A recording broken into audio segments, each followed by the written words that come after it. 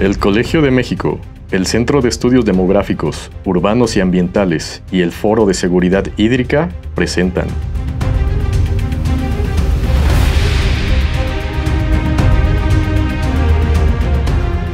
Gota Mexicana.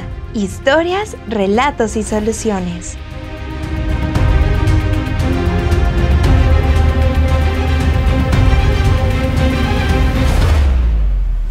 Buenas tardes a todas y todos los que escuchan Gota Mexicana. En este episodio tenemos una entrevista con la maestra Patricia Hernández, directora general de la Asociación Nacional de Entidades de Agua y Saneamiento en el país, a quien agradecemos que haya aceptado participar en este podcast. Ella es maestra en gobernanza y globalización y la primera mujer en ser directora general de esta asociación tan importante en México que ayuda a superar uno de los graves problemas que vivimos como es el acceso al agua. Con ella abordaremos un importantísimo tema de actualidad que es agua y ciudades. El mundo se encamina a ser un mundo cada vez más urbano. En la actualidad, alrededor del 56% de la población mundial, es decir, 4.400 millones de habitantes, vive en ciudades. Y para 2050 se espera que la cifra alcance a dos tercios de la población, donde las ciudades en vías de desarrollo, entre ellas las ciudades latinoamericanas, se urbanizan con rapidez con un crecimiento no siempre ordenado y que avanza más rápido de lo que gestionaría, de lo que se podría gestionar con una adecuada planeación. Quiero comenzar con dar algunos datos para comprender la importancia de pensar el agua en las ciudades. En el Programa Nacional Hídrico 2020-2024 se estimaba que en 2020 a nivel nacional solo el 58% de la población tenía agua diariamente en su domicilio y contaba con saneamiento básico mejorado. En el medio urbano se alcanzaba un valor de 64% y en el medio rural de 39%. Para 2022, la proporción de la población que disponía de servicios de suministro de agua potable gestionados de manera segura era del 61% según datos de Conagua. Por otro lado, la sequía prolongada que hemos vivido en los últimos años, que alcanzó en 2024 casi el 90% del país y el 100% del territorio de la Ciudad de México, nos exige cambios en la gestión de la ciudad y específicamente del agua es decir, estar preparado para atender situaciones de riesgo, emergencias, además de abastecer a una población urbana creciente. Por eso, en este episodio nos gustaría hablar con la directora general de ANEAS sobre los problemas que enfrentan las ciudades para tener agua suficiente y de calidad para las personas. Gracias, Patricia, por aceptar participar. Muchas gracias, doctora Judith Domínguez, buenas tardes a todas y todos los que nos escuchan en este podcast eh, organizado y con una coordinadora de lujo como es la doctora Judith Domínguez, que para nosotros en ANEAS es parte fundamental es una de nuestras asesoras claves en este tema que es derecho humano al agua. Y como bien mencionas, eh, doctora Judith, pues bueno, en el tema de agua y ciudades, con todos estos datos que nos acabas de dar y compartir, definitivamente es un gran reto, es un gran reto para los organismos operadores, es un gran reto para el gobierno, es un gran reto para la sociedad. Nosotros desde ANEAS, como bien mencionabas, doctora Domínguez, somos la Asociación Nacional de Entidades de Agua y Saneamiento de México, que agrupamos a los organismos operadores prestadores del servicio de agua potable y saneamiento del país. ¿Y qué hacemos desde ANEAS? Hacemos todo este tema de vinculación con distintos eh, países, con otras instituciones, con otras tecnologías, tratando de promover todas estas innovaciones para poder hacer una gestión eficiente en los recursos.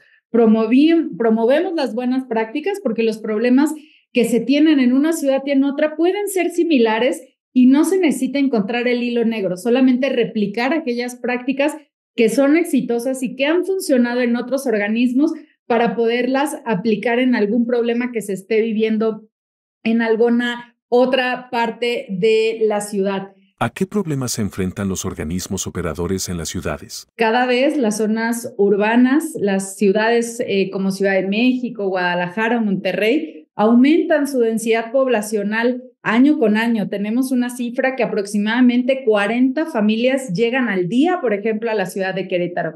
Esto pone en jaque a los prestadores de servicios como son los organismos operadores, ya que con la misma agua que tienen, con la misma infraestructura y con los mismos servicios, tienen que dar agua cada vez a más personas.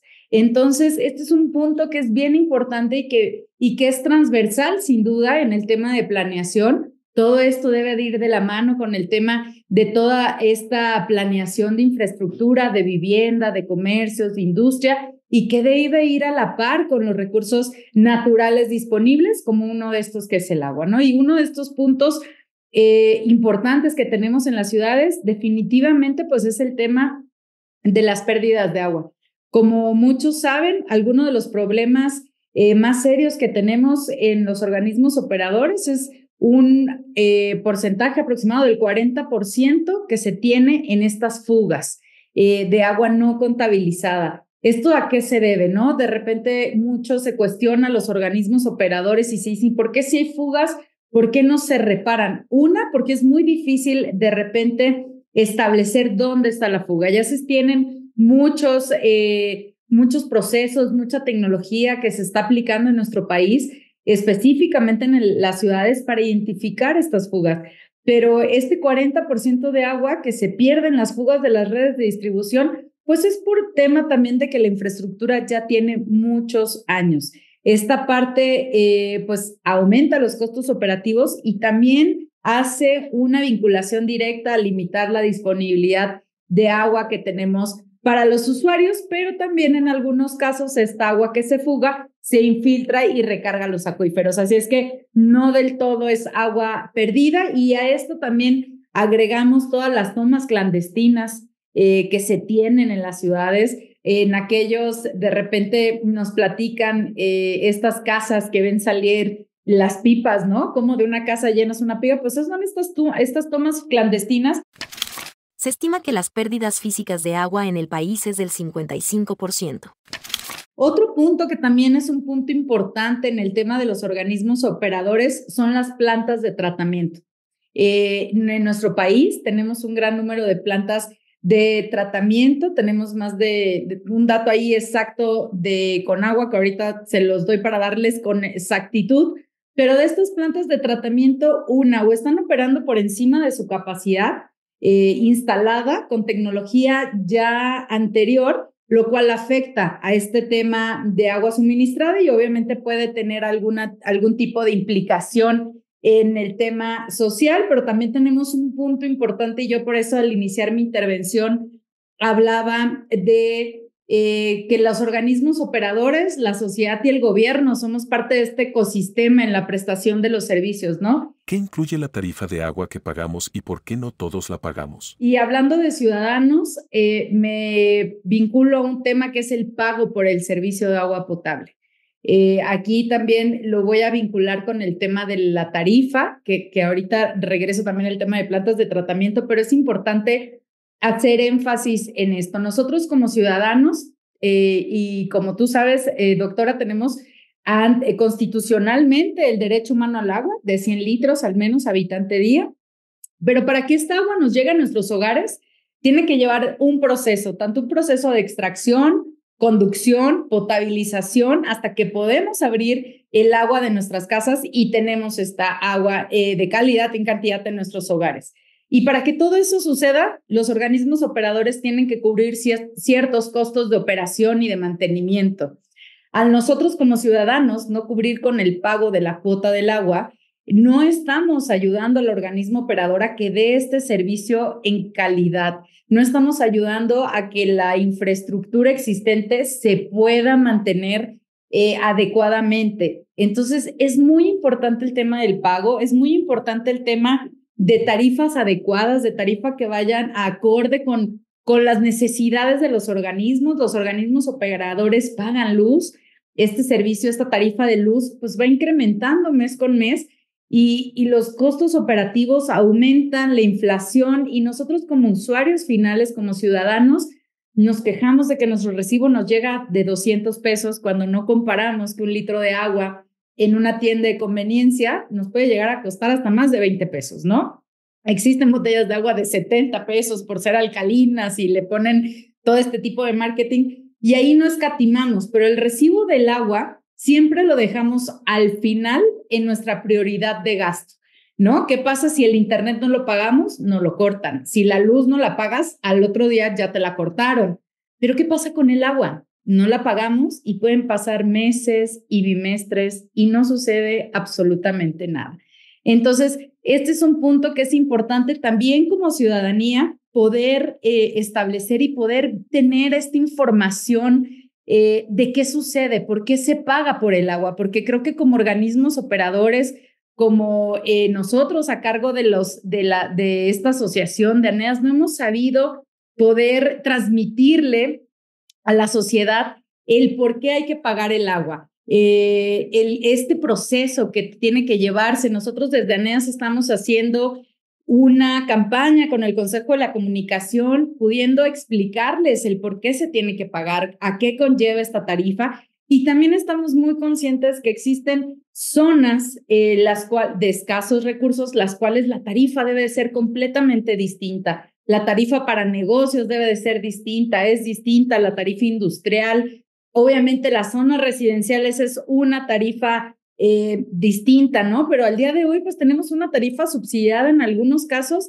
hasta más del 80%. Entonces, ese subsidio no se, no se compensa al organismo operador y es por eso que este, de repente, este círculo eh, vicioso que se hace dentro de estas instituciones que prestan el servicio de agua potable y saneamiento debido a la falta de recursos. Y aquí es un tema importante mencionar que no todo es culpa del gobierno. Es muy fácil decir es que el gobierno no nos da apoyo, no nos da. Yo creo que es, eh, esta es una acción, como les decía, este, este ecosistema, ¿no? Organismos operadores, tres niveles de gobierno y ciudadanos, porque todos debemos de involucrarnos, también como sociedad debemos de ser parte, menos del 1% de todos los que habitamos este país, de los más de 120 millones de mexicanas y mexicanos, trabajan en un organismo operador.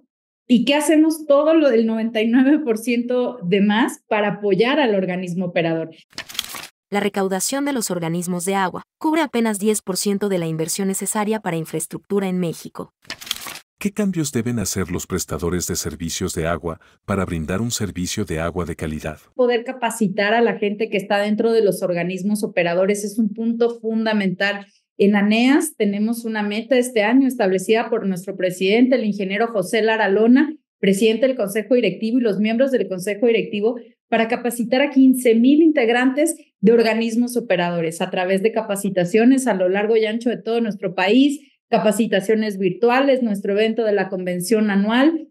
¿Para qué? ¿Para qué mantener este personal capacitado? Pues para justamente hacer esta parte de la mejora en la eficiencia operativa, eh, no todos tienen acceso a todas las plataformas que tenemos muchos y que podemos estar al día con la información y es por eso que es importante poder capacitarlos en nuevas tecnologías, en mejores prácticas, para que se refleje directamente en un mejor servicio. ¿Qué otros problemas identifican que no permiten un servicio de agua eficiente? Tenemos en ANEAS un promedio que un director dura en promedio a nivel nacional un año con cinco meses lo que nos da por hecho que si en una administración municipal, en promedio son dos directores de organismos operadores por periodo eh, de, de gobierno de los alcaldes, ¿no?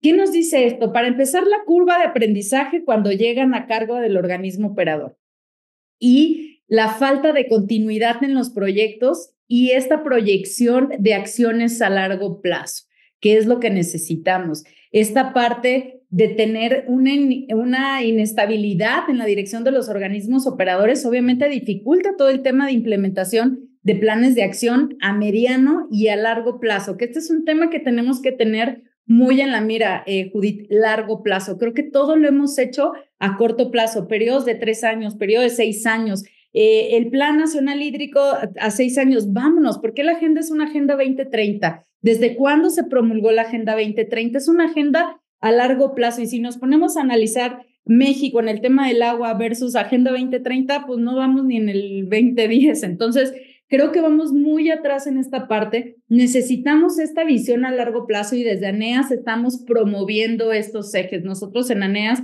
tenemos un proyecto al 2040 con enfoque a los organismos operadores, todo lo que necesitamos hacer y, y lo que necesitamos como organismos, como asociación, como país, como ciudadanos, ¿no? Esta parte de la continuidad y poder tener coherencia entre las políticas públicas, las estrategias y lo que estamos realmente haciendo, creo que es un punto bien importante que tenemos que tomar en cuenta.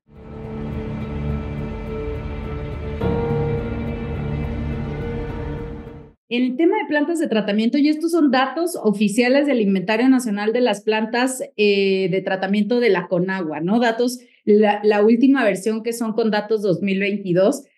Y este es un punto que creo que es, eh, pues, alarmante, el decir que, por ejemplo, en el 2021 teníamos 2.872 plantas de tratamiento.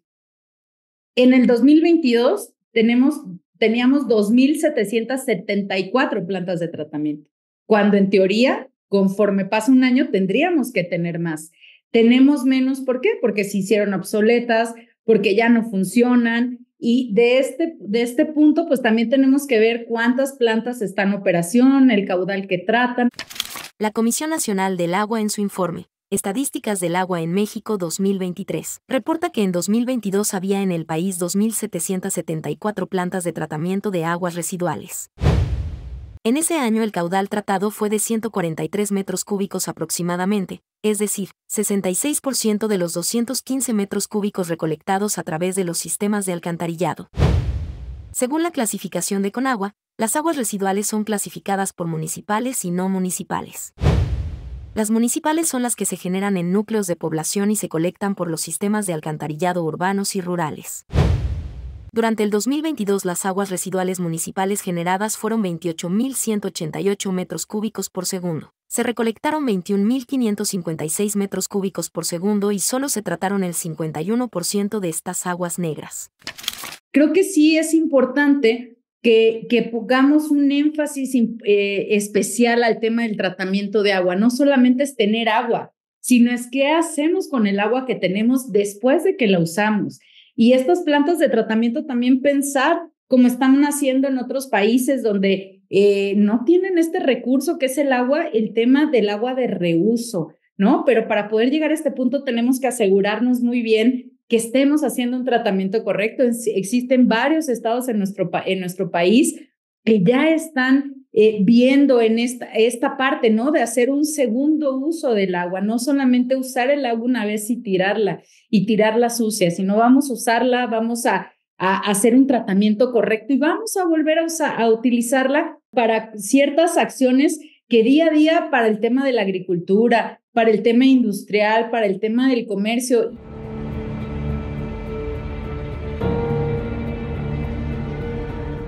Cuántos ciudadanos realmente, y que eso está mal porque existen algunos organismos operadores que brindan un eh, agua en calidad de mucho mejor que las aguas embotelladas, pero nunca usamos nosotros el agua de la llave para tomar. O sea, culturalmente siempre hemos utilizado agua embotellada o, o hervimos el agua, cuando ya en, en, algunas ciudades de nuestro país el agua que sale de la llave es de muy alta calidad. Entonces, realmente el agua que nosotros usamos para consumo pues en muy poco porcentaje es agua directa del grifo, ¿no? Entonces, ¿por qué no pensar en un agua de reuso? ¿Por qué no pensar en esta parte del agua regenerada, que es el siguiente paso al que tenemos que llegar como sociedad, como país y más en el tema de agua y ciudades, ¿no? Donde cada día somos más y el recurso hídrico es exactamente el mismo. Qué interesante todos los los datos eh, que, que, nos dicen, las acciones que están ah, impulsando desde ANEA. Yo quisiera, ah, pensando en positivo y en, y en que tiene solución, un grave problema que venimos arrastrando por muchas décadas, que nos ha llevado a perder el agua, como bien dices, hasta un 40%, ¿no? Por no dar mantenimiento adecuado, por, por muchas razones, ¿no? Porque no hay presupuesto, porque no hay interés, pero el caso es que hemos abandonado, hemos, digo todos, ¿no? Como sociedad, como bien dices, como gobiernos, como organismos operadores, eh, tenemos que afrontar este, este, estos grandes retos que tú, que tú mencionas. Y pensando en positivo, yo, yo quisiera preguntarte, dado que ustedes impulsan este tipo de acciones, tres, tres, en tres temas que tú mencionaste, ¿no? Buenas prácticas. Si nos pudieras dar algunos ejemplos de buenas prácticas que estemos desarrollando en el país o que estén desarrollando eh, los organismos operadores eh, y la innovación tecnológica que también mencionabas, muy importante, ¿no? Yo en alguna feria del agua en España hace algunos años vi cómo un robot eh, detectaba fugas, ¿no? Lo meten en la red y va detectando con una precisión muy importante, por supuesto transmitiendo las imágenes, con lo cual pues ya no tienes que ir adivinando, como tú decías, lo, lo, lo difícil que es detectar las fugas, ¿no? Y este, este robot también pequeño que cabe en la tube, en, el diámetro de la tubería, lo metían y va y, y se paraba y decía, aquí hay una fuga, manda, y entonces era una acción más puntual. Eh, por ahora me detengo en estos dos porque también me gustaría que nos hablaras sobre buenas prácticas de reuso, si es que, bueno, sí las hay en nuestro país, eh, quiénes las están impulsando, qué podemos aprender de ellas. Con estos tres temas creo que tenemos bastante para, para que nos digas algo, algo más. Claro que sí, Judith. En el tema, por ejemplo, de tecnologías avanzadas, ¿no? Como bien mencionas, esta parte del robot que entra a la tubería y que puede detectarte dónde está la fuga desde fotografías ya a través de drones satelitales, donde te marca dónde está la humedad y está la fuga. Creo que es importante también establecer eh, sistemas de telemetría y monitoreo. Si este, somos fieles creyentes en ANEAS que lo que no se mide no se cuida y debemos de tener este monitoreo exacto de nuestras extracciones. También estamos promoviendo el cumplimiento de la NMX 179 para todos aquellos que tienen eh, una concesión de agua, saber cuánto se extrae y se hace esta transmisión de datos en vivo a la Comisión Nacional del Agua, quien va monitoreando estas extracciones que sean, bueno, que vaya con base al volumen que se tiene concesionado, ¿no? Creo que vemos que estas adopción de sistemas de telemetría y monitoreo eh, son importantes para el tema de la mejora en la gestión y una respuesta eh, ante problemas operativos. Yo creo que estos problemas aquí podemos vincular directamente el tema de detección de fugas, el tema de monitoreo de agua y también el tema de optimización de la distribución, ¿no? Si detectamos que en un, en un sector hay una fuga, pues cierras ese sector, pero no cierras toda la ciudad, ¿no? Entonces creemos que tenemos que migrar hasta este punto donde ya podamos hacer uso de estas tecnologías y aquí ligándolo con el tema de buenas prácticas, fíjate que el organismo de León en Zapal tiene ya un sistema que está integrando inteligencia artificial donde les sacan estas mediciones y detecta o les prende este foco rojo donde ve que hay un consumo mayor referente con los históricos, ¿no? Entonces, esta, ya esta tecnología que tienen ya va midiendo, oye, pues en este, eh, en este sector se consume tantas cantidad de metros cúbicos al día y el día de hoy está triplicando o cuatriplicando esta cantidad, algo está pasando, ¿no? Entonces, prende este, este, este relojito de que, oye, aquí tenemos un problema, pero con base a los históricos. Obviamente también es estar alimentando y como ellos dicen, que el robot te conozca, porque también obviamente en época de calor, pues el aumento de, agua es, es mayor, el consumo es, es mayor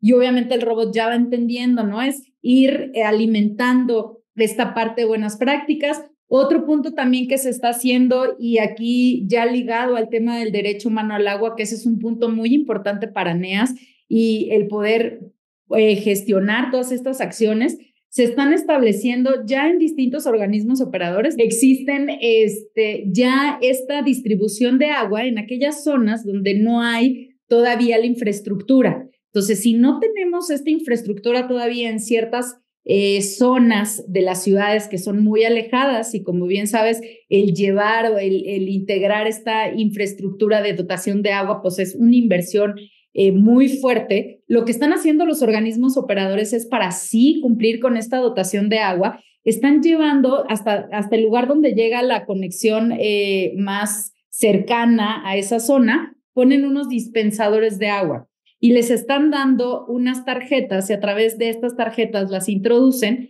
y ellos pueden eh, tener acceso a 100 litros por, por, por persona integrante de la familia. Entonces, ya están, estamos evitando esta parte de recurrir a las famosas pipas, este, porque conlleva un sinfín de retos, algo que a mí me, me llamó mucho la atención y me impactó, que ese es un tema que también vamos a tratar más adelante, el tema de género, pero resulta que el tema de las pipas, los piperos llegan a ser acoso sexual a las señoras y a las niñas para la dotación del agua, ¿no? Entonces, cómo el tema del agua puede traer esta parte de implicación también de acoso en el tema de género, ¿no? No nada más se sufre las mujeres por la falta de agua, sino por tratar de conseguirlas también pueden llegar a ser violentadas.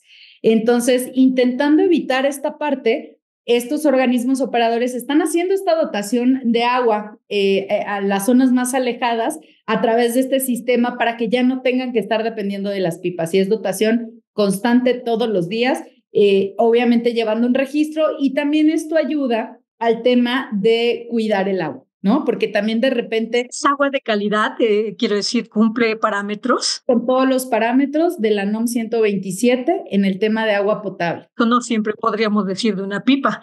No se puede decir lo mismo de una pipa y aquí también se hace esta conciencia de dónde es, dónde van a recolectar el agua, porque de repente el agua está de muy buena calidad y la ponen en, recipientes pues, sucios, eh, que están contaminados con agua de pipa, y aquí ya rompe este, este ciclo de, de todo el proceso de calidad. Pero este es un tema muy, eh, muy importante, de hecho, lanzamos este proyecto desde ANEAS, eh, lo mandamos como, como proyecto piloto a UNESCO para poder dotar agua a estas poblaciones alejadas, ¿no? Porque creemos que este es el, el, lo más pues es, es, una opción que se está haciendo, que nació de un organismo operador eh, mexicano con tecnología propia, o sea, no compró estos dispensadores, ellos los diseñaron y hicimos estas vinculaciones en ANEAS, fue alguien de otro organismo, ya los vio y lo adaptó, ¿no? Porque al final ese es un punto que también tiene que, tenemos que adaptar estas tecnologías y esta buena práctica, o sea, no todo de la A a la Z, lo que funcionó en el norte va a funcionar en el sur. Tenemos que hacer esta tropicalización de estas políticas públicas, de estos proyectos para que funcionen, ¿no?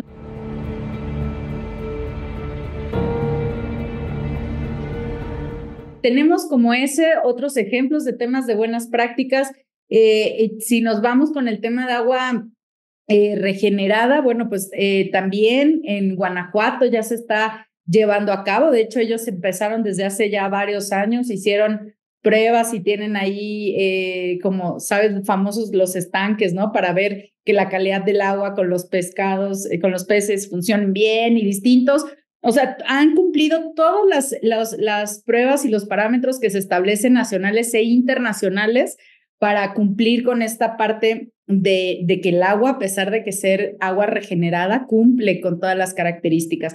De hecho, se están haciendo alianzas a través de la NEAS con KWR de Países Bajos y con otras instituciones para que vengan a certificar los procesos de los organismos operadores que ya están eh, listos para el tema del agua regenerada y poderlos utilizar eh, para usos, tal vez no para consumos porque nos cuesta un poco de trabajo y este es un tema de reeducación a todos los niveles, eh, pero que sí sepamos, ¿no? Es como lo que hacemos con las, o sea, ¿qué estamos haciendo? Estamos reciclando, ¿no? En la vida intentamos, oye, vamos a reciclar el papel, vamos a reciclar el vidrio, vamos a reciclar, pues tenemos que empezar también a pensar en reciclar a los recursos como es el agua, porque te digo, el agua pues siempre es la misma y creemos que nuestro planeta está rodeado de agua pero realmente el porcentaje de agua que, que es agua dulce, pues es muy poquita en comparación.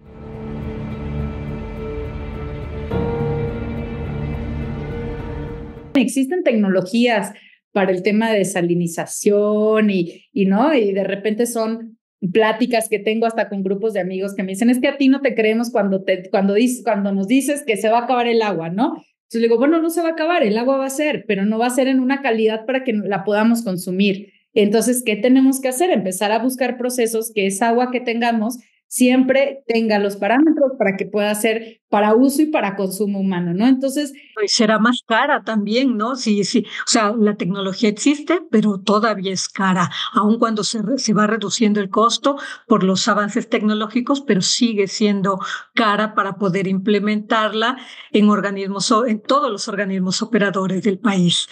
Sí, qué interesante, qué interesante, Patricia, el eh, estar eh, comentando todas estas buenas prácticas que, y las acciones que, que, se impulsan desde ANEA y que hacen los organismos operadores, ¿no? Eh, aún en condiciones adversas, porque como sabemos los datos, o si no lo saben, se los podemos dar a, los, a los que nos escuchan. Eh, pues eh, tienen muchas dificultades para poder eh, recuperar lo que se invierte o tener dinero para invertir en, en, la operación, en el mantenimiento, en la rehabilitación de la infraestructura. ¿no? Ese es otro gran reto.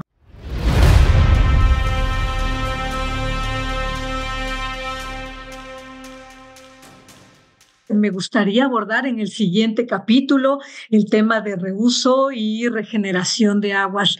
Eh, invitaremos al director, al presidente de, la asociación, a José Lara, al ingeniero José Lara Lona, para que nos hable de este importante tema eh, y agradeciéndoles, como siempre, la colaboración que hemos tenido con el Colegio de México y con ANEAS. Muchas gracias, Patricia. Gracias, Judith, y quedamos a la orden en ANEAS. Estamos a la disposición para poder orientar a aquellos nuevos tomadores de decisiones a que hagan eh, de este recurso algo a largo plazo. Y muchas gracias a todas y todos los que escuchan Gota Mexicana. Muchas gracias, Judith. Muchas gracias por la invitación y estamos a la orden en comunicación y siempre es un gusto poder colaborar en conjunto. Esta fue una producción de la Coordinación de Educación Digital del Colegio de México.